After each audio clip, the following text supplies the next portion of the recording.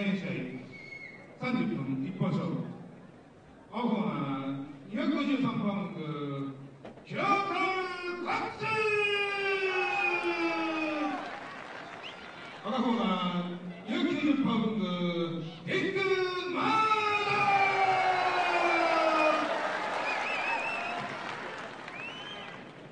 お聞きください。このシリーズ本当に波に波に乗っております。リック・マードック大きな拍手で迎えられました。解説の方は東京スポーツ新聞社の山田隆さんにお願いいたします。さあこのリック・マードック対ザ・スピリット。中身はあのキラーカール・コックスでしたね。そうですね。まあまさかですねと思ってたんですがこの大ベテランですね。そのザ・スピリットは福岡大会でジャイアント馬場選手の持っています BWF ヘビー級の王座にチャレンジいたしました。そして、えー、結果は2対1で敗れたわけでありますけれども2本目馬場選手は反則でしたがザ・スピリットの黒覆面を取ってしまいました。結果は2対1で馬場選手が33回目の防衛に成功いたしました。放送の方は12月25日のこの時間にお送りいたします。さあ本日のこのリック・マードック対キラ・カール・コックス。ザ・スピリット改めキラカール・コックスの30分一本勝負ご期待ください。キラーカール・コックスとはアメリカでは何度か戦ってるわけですねディック・マードックそうですもうこの2人は実を言いますとね正体が割れてキラーカール・コックスということになった時私びっくりしたんですがもうオクラホマを中心に大ライバルですねこの2人は。まあ、キラーカール・コックスとしては昭和49年の第2弾サマーアクションシリーズに特別参加。それ以後はザ・スピリットとして黒覆面で登場ですがその黒覆面も12月7日福岡大会で黒覆面が取られました。素顔のキラーカール・コックスとしてこのスーパーパワーシリーズ最終日登場です。そしてその福岡大会ですがヨーロッパの帝王ビル・ロビンソンと、まあ、五分と五分時間切れの比較の一戦リック・マードックいい試合をやりましたね。そうですね。この人はねもう今ノリに乗ってるという感じですね。本日のリング上も日本のファンから送られました素晴らしいガンをつけての登場です。さあうまく体を入れ替えました。大きく滞空時間が長いボディースラムトワークもいいジャンピングエルボードロップ炸裂カバーに入ります。カントアトゥ非常に乗っております。ディック・ナードック。18番のオクラホマスタンピーとブレンバスター。そして先ほど見せましたジャンピングエルボードロップ。果たしていついつ炸裂するでしょうか。リングの外はベテランキラー・カール・コックス。まあ、このかこの人も1948年にプロレス入りということで、まあ、キャリアの方は28年ぐらいですね。そうです。もうこの人はねヨーロッパのですねアマチュアの出身ですから大変に芯は強いですからね。あんまりねマードックが図に乗って、はい、あの調子づくと危ないですね。音体ジャイアント馬場選手とは数々の流血戦。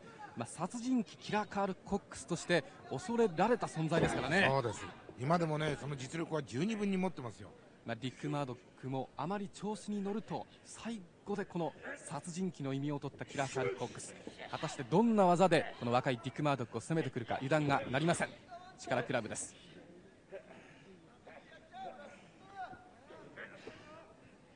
ディック・マードックも一日一日とその成長ぶりが私ども分かるわけですけれどもまあ、ビル・ロビンソンと引き分けたということはこれは五分と五分の試合ですけれどもね非常に本人にとってもいい意味の自信につながってるでしょうね。もちろんそうですね。やはりあのー、リック・マードックの場合ですね純粋のアメリカのレスラーだと自分の父も叔父もアメリカのマット界の代表選手だったといわゆるアメリカレスラーの誇りを持ってますからね。やはり意地でもヨーロッパ出身のロビンソンには負けたくないという気持ちで戦ったでしょう。ビル・ロビンソンがバックドロップで来ればディック・マードックもバックドロップでいくという。そうです。非常に執念を見せましたこのディック・マードック。ビル・ロビンソンと引き分けました一戦は。12月25日のこの時間に放送いたします。どうぞご期待ください。さあリングの中です。サイドヘッドロック。強烈にディック・マードックの太い腕が決まっています。まあ、両選手とも18番にはブレンバスターを持っているというそういう大技を仕掛ける選手ですがまあ、予想を立てるとしたらその大技がいつどこで発揮されるかで試合の流れも随分変わってくるでしょうね。そうですね。それと同時にやはりあのキラー・カール・コックスがですね、はい、どんなラフな戦法で攻めるか、うん、この辺も一つの大きな鍵ですね。さあロープブレイク。これはレフェリーの言う通りにブレークはいたしません。キックから。パンチからキック攻撃。相当顔面への蹴りがきついですね全体重をかけます。サードロープを利用して。この辺のうまいところは若いディック・マードック。ちょっと危ないや。うまく動きを見ておりました。さあパンチです。すごいパンチですね。こういうねあのショートレンジは効きますね。すごいアッパーブローです。エルボー。この辺はいぶし銀のような非常にうまいところを見せておりますがパワーに物を言わせます。ディック・マードック。さあパンチの応酬ですリングの中央。この辺はパワーがある。ディック・マードック。大きくモーションからアッパーブロー。あノリに乗っております。スーパーパワーシリーズ。最終戦を迎えました東京両国日大講堂です。このディック・マードック数々の来日回数は記録を生んでおるわけですけれども山田さんどうですか？今回の来日は。そうですね。非常にねあの最初からね調子の波に乗ってる感じですね。しかしちょっとマード口の中を切ったようですね、はい。あのパンチ攻撃で。今赤い唾を吐いてますね。それだけこのおコックスのキラカールコックスのパンチは破壊力があるということでしょうね。そうですね。やはりあのーボクシングと違ってマウスピースをはめていませんからね。あのすごいパンチを食っちゃいますと口の中がやはりズタズタになってしまいますね。うん両選手まだこれといった殺人技大技は見せておりませんが細かいパンチキックそういったもので相手の出方を伺っております。さあロープブレイクですがなかなか離しません両選手。レフェリーは和田恭平和田恭平が振り飛ばされた吹っ飛ばされた。この辺のラフ攻撃キラカール・コックス。レフリーにキックです。これはいけません。これはいけません。さあレフェリーにキックをいたしましてこれは反則ですね。そうですね。はい、えーまだ正式にはあーコールはされておりませんがやれやれという声が続いております。ロープを利用してカウンターのパンチ攻撃です。さあお返しのキラーカール・コックス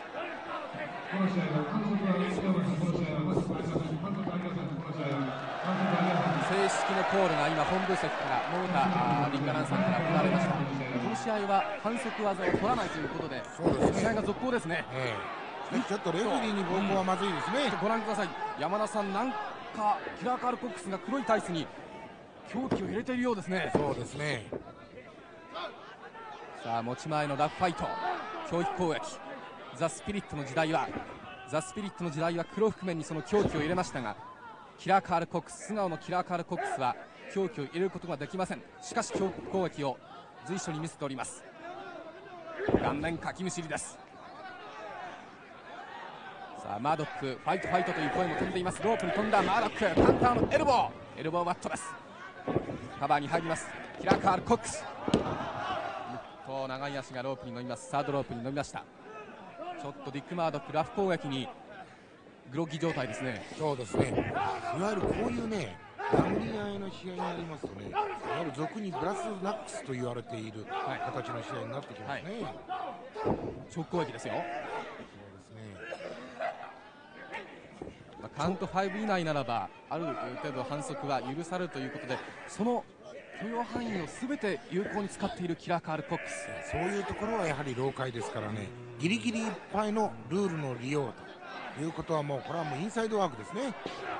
そのインサイドワークに一日の長があるということでしょう。キラカール・コックス。しかし若いディック・マードック。このスーパーパワーシリーズ非常に乗っております。随所で名試合を残しておりますディック・マードック。強烈なナックパンチ。顔面そしてこめかみの中にフットワークを取るディック・マードック。素晴らしいフットワークから左のジャブ。ジャブからショートレンジドロップキック。ドロップキック炸裂。ドロップキック炸裂。ディック・マードック。この辺は山田さん若いですねディック・マードック、ねやはりあの試合の勘がいいですね、回復力が非常に速い、はい、ここぞと思うところでやはりね飛び技を出しましたね。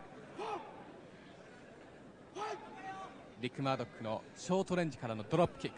見事にキラーカール・コックスの胸板を炸裂いたしました。リングの中に入りますキラーカール・コックス。しかしコックスは非常にラフファイト。そして緻密なインサイドワークを誇りますむやみにむやみにそばに近づいては危ないビッグマードックです。顔面に入っていや口のあたりにキックが入ったようですね。そうですね。しかし山田さん分かりませんよ。ええ。これはやはりあの老解ですからね、ごまかしがうまいですからね。さあコーナーマットを背にしたキラーカール・コックス。まだまだ不気味な不気味なムードを漂わせていますキラーカール・コックスです。サイドヘッドロック。試合の流れが次第に緩やかになってまいりました。今晩のリング上4回までぎっしり入りました。東京両国日大講堂。30分一本勝負です。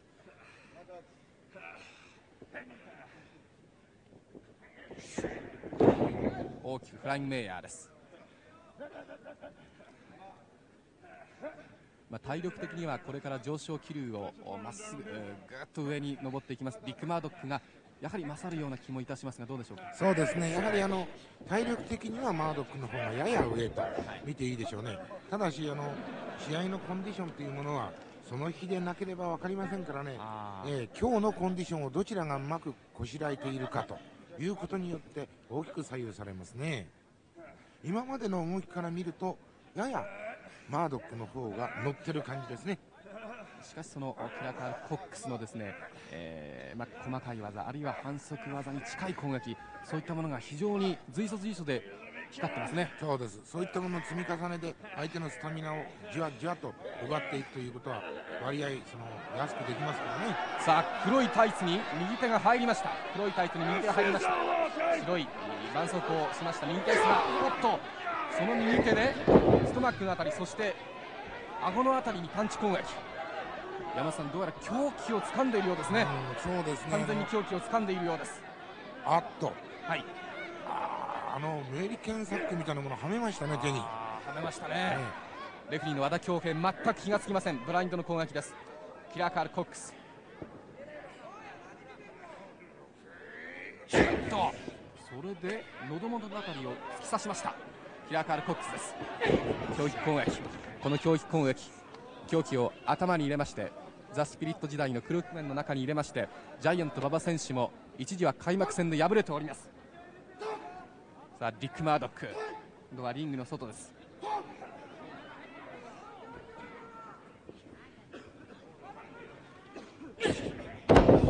その狂気を掴んだ右手からのナックルパンチ攻撃。口の中も切っているようですねかなり。そうですね。さあブレンバスターです。キラーカール・コックス。殺人鬼キラーカール・コックスのブレンバスター行くかどうか。さあリングの中央大きく相手を捉えられるかしかしバックを取った。さあディック・マードックがとローリングクラッチホールドに行く体勢だったが腰から落ちましたキラーカール・コックス。ディック・マードックもダメージが残っている。後頭部を打った。かし一時はあのブレンバスターを外したところはディック・マードックやったというそういう感じでしたね。そうですね。おそらくローリングクラッチを狙ったんでしょうけれども、ちょっと外されましたね。ローリングクラッチホールドの体勢に入りましたディック・マードック。うまく外されました。しかし早く早くスタンディングポジションに立ったディック・マードック。ロープに飛んだのはディック・マードック体当たり。体当たりは両選手ダメージは一緒ですがディック・マードックがリングの外にリングの外に放り出されたというそういう形になりましたリングの中はキラーカール・コックスさあこのダメージどちらが重いですか？そうですね。まああのマードックの方もちょっとリングの下に落ちましたからね。はいあの当たりどころが悪かったように見えましたがね。さあ若いディック・マードック186センチ114キロしかしこのキラーカール・コックスのこの狂気攻撃が次から次と続きますとダメージが重なりますねディック・マードックそうですね。じわじわとスタミナを失ってしまいますね。特にあの後頭部へのはいエルボーバットですね。これはかなり効いてますね。後頭部のエルボーバットそしてパンチ攻撃相打ちです両選手右からのナックルパンチは相打ちさあ対角線上に両選手が睨み合いの睨み合いのポジションですさあどちらが早く攻撃を仕掛けるか対角線上に両選手が睨み合っておりますが回復力はキラカール・コックスの方が早い。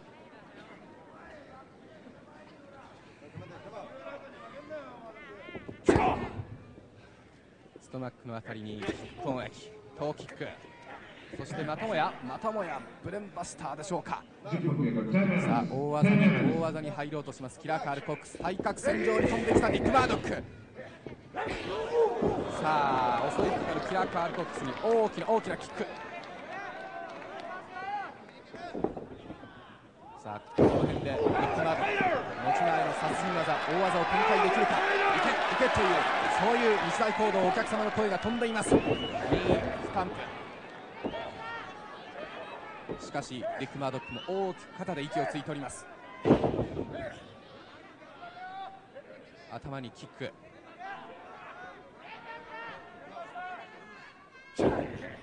これは顔の中央にパンチ攻撃です。しかしこの辺の試合の流れ爪を甘くしますと爪を甘くしますとこのディック・マードックもどうなるか分かりませんからね。そうですね。顔面かきむしりです。キラカール・コックス。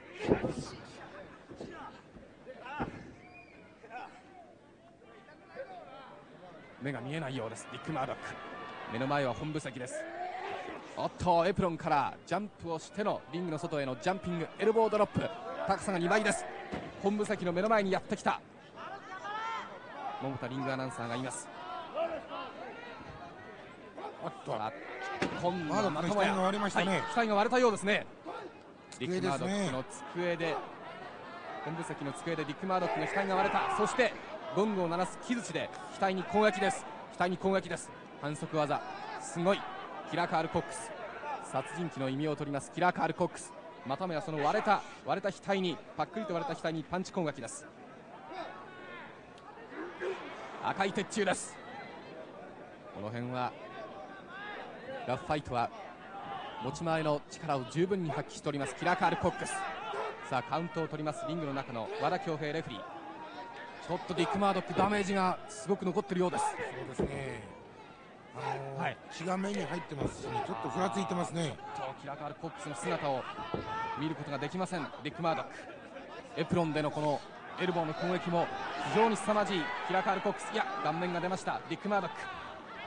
うーんとまたもや。何かはめたようですね山田さん。そうですね。はい。手にはめてますね。はめてます。完全に見えました。カメラの方も完全にこの狂気を映しております。レフェリーの和田恭平早く気がついてほしいところですが顔面真っ赤な鮮血血が滴り落ちますディック・マードック。そのパックリと額に攻撃が攻撃が加えられますディック・マードック。非常にダメージが残っています。白い肌金髪のディック・マードックの端正な顔が顔が真っ赤な鮮血で彩られます。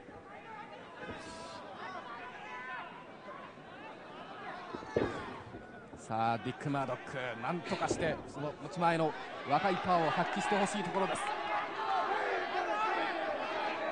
かしこのキラカール・コックスジャイアント馬場との何度も度重なる流血戦を経てきただけのものがあります。さあブレンバスターキラーカール・コックス体勢に入っている。大きく脳天から入った。ブレンバスターが決まりました。カバーに入る。カバーに入る。キラーカール・コックスカウントは2まだまだまだまだ余裕があります。ディック・マードック。ディック・マードックディック・マードックまだ余裕があります。しかしご覧くださいすごい鮮血金髪が金髪が真っ赤に真っ赤になっております。ディック・マードック凄まじいこのラフファイト攻撃。山井さんすごいですねこれは。すごいですね。しかしねマードックねあれだけ血が出てるのにねよく頑張ってますね。持ちこたえてますよ。あのブレンバスター一発で決まったような感じがいたしましたけどそうもねですね。さあなんとか持ち前のパワーとそしてファイトと粘り強さでこのキラカール・コックスにもう一度一矢報いてほしい。ディック・マードック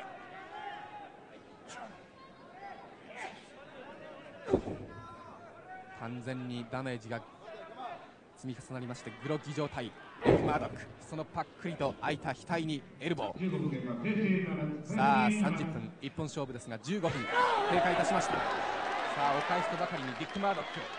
目つぶしですね。そうですね。自分が目が見えないということでこれはいい攻撃です。キラーカール・コックスに目つぶし攻撃そして額のあたりにパンチです。おっとディック・マードックが噛みつきに行く。噛みつきに行きます。こめかみのあたりです。このスーパーパワーシリーズ初めてですねディック・マードックがこういうラフに出るのは。そうですね。しかしねこれだけやられればやはり目には目をということになりましょうね。さあ目には目を。ラフにはラフを。リック・マードックこのシリーズ初めてのラフファイトです。パンチ攻撃です。あまりディック・マードックはラフファイトをやりませんからね。そうですね。さあいけいけという声が飛んでいます。何発も何発もこのパンチ攻撃ですがさあトップロープに行きます。トップロープに行きます。そのリック・マードックの右の膝が当たっています。うんネックバスターですね。そうですね。首つぶしですね。首つぶし首砕きにいっています。そうです。あのこれはねはいマードック流ですねマードック流のネックバスターを見せました素晴らしい技です日本ではもちろん初めてです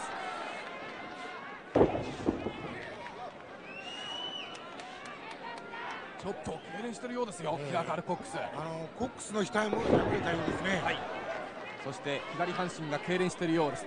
キラカール・コックス。持ち前のパワーファイト殺人技は素晴らしいものを持っています。ディック・マードックです。完全にパックリとキラカール・コックスの額に割れました。うーん本当に凄まじい流血戦となりました。本日の30分一本勝負です。大きくモーションをつけてその傷口にパンチ攻撃さ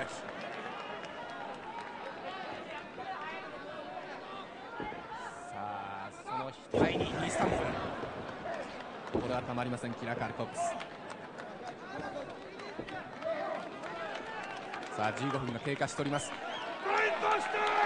あ俺はブレンバスターをやるんだというそういう宣言をしましたね。そうですね。予告ですねこれは。予告です。さあそのブレンバスターを最も得意とするディック・マードックですがさあどういった技を見せるか。うん。さあと力が入ります。キラーカール・コックスもその技を食わないように後ずさりです顔面をかきむしに行きましたキラカール・コックス。さあそろそろと大技が出ればそれがフィニッシュホールドにつながるというところでキラカール・コックスディク・マドックも予断を許しません。し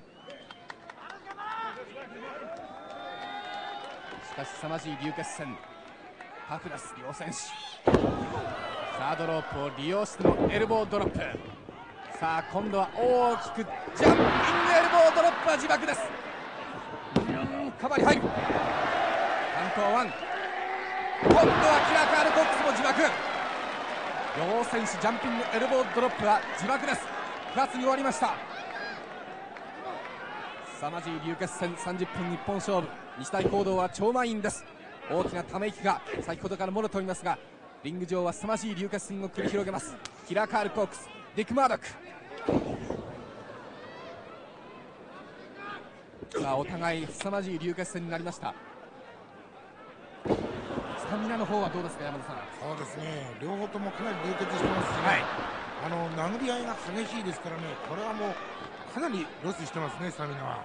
キラーカール・コックスの方がちょっとですええ。ねダメージが濃いようですね。そうですね。あの傷がなんか深そうですね、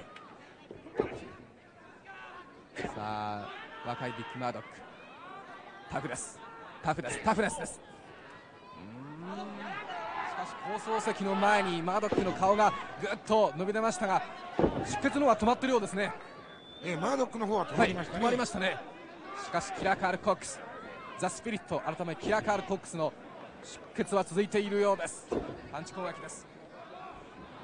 さあ今度はレフェリーの和田恭平をリングの外に吹っ飛ばしました。しかしこの試合反則技がないというところですがすごい試合になりました両選手レフリーなしでの試合の続行です。さあ全日本プロレスの若手が入りました。大仁田が入った。そして園田が入った。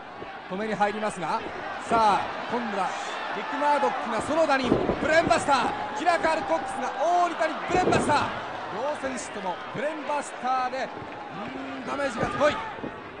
若い大仁田がリングの外に出た。そして今度は伊藤正男淵正信百田光雄が入って両選手を止めに入ります。ディック・マードックキラカール・コックスの死闘が次から次と演じられておりますけれどもここでゴングです。ゴングが鳴りました。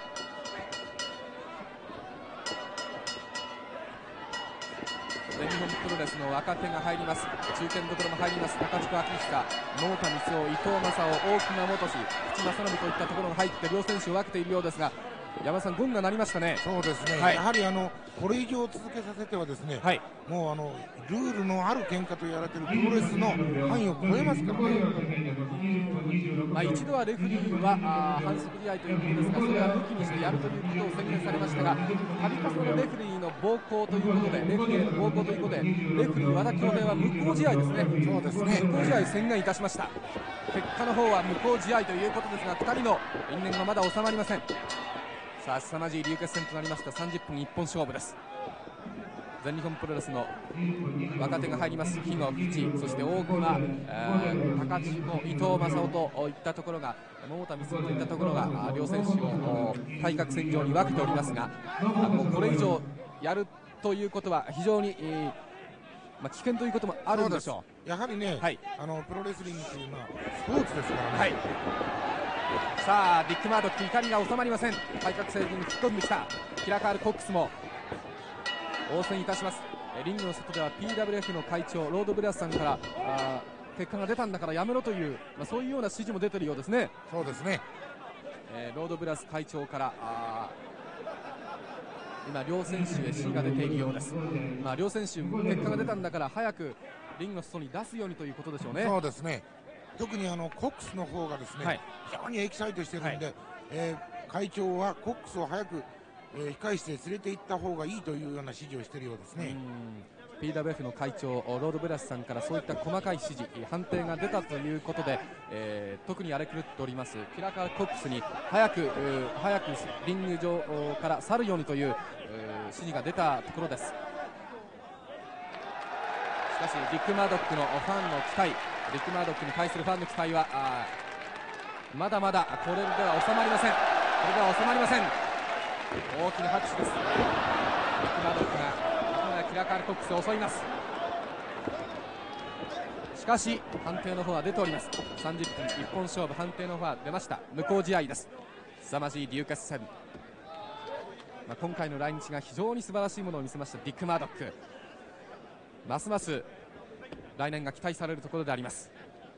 さあ早くリングの外に出ますのがディック・マードックです。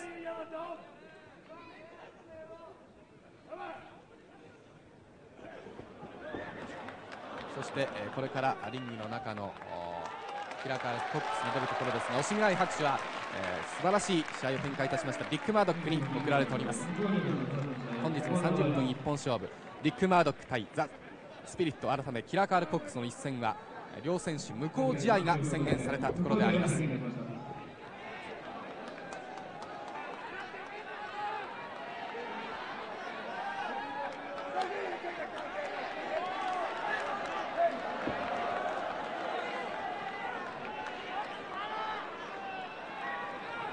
怒りが収まりません。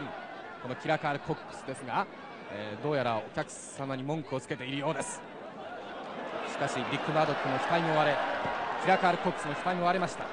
今回の来日は PWF ヘビー級ジャイアント馬場のベルトにチャレンジが最大の目標でしたがザ・スピリットのその覆面を剥がされまして素顔のキラカール・コックスという本人にとってはとってもものすごく屈辱的な来日であったわけでありますがその額を割れましたキラカール・コックスが今放送席の目の前を通過していきます。